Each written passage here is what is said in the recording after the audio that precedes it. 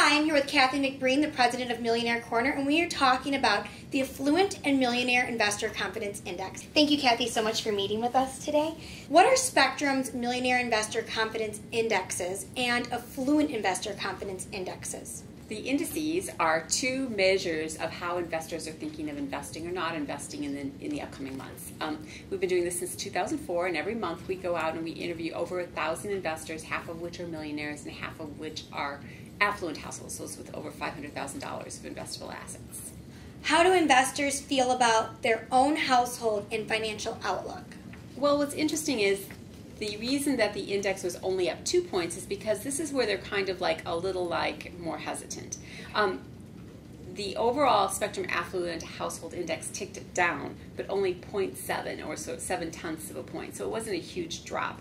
Um, but what was really important was that their overall household assets, they felt really confident about their household assets. Obviously, the market's up, so they're feeling good about that. But everything else they felt negative about, more or less. And that included um, the economy. They didn't feel quite as comfortable with the economy, um, their company health, and their whole own household income. So they're a little more negative about that. So that kind of offset the fact that this market's up, but they're still kind of nervous and negative about what's going on.